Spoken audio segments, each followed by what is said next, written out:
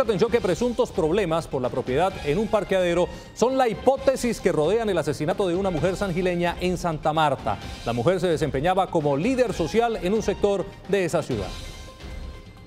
La víctima fue identificada como Rita Bayona Alonso, oriunda de San Gil, quien era reconocida por su labor social y defensa de los intereses de su comunidad.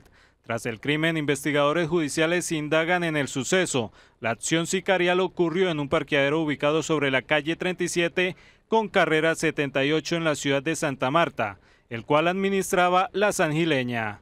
Esta mujer fue atacada con armas de fuego por delincuentes que llegaron y acabaron con su vida. Ya en coordinación con la Fiscalía se inicia la investigación para establecer eh, las circunstancias de tiempo, modo y lugar en que ocurren estos eventos. La mujer natural de San Gil era la vicepresidenta del sector de Monterrey, un perímetro en jurisdicción del barrio 11 de noviembre, en Santa Marta. Su muerte causó estupor e impotencia entre los habitantes del mencionado lugar, quienes exigen justicia para aclarar la muerte de esta líder comunal. El móvil y el hecho eh, estamos determinando por un parqueadero que se encuentra en extinción de dominio desde el año 2002.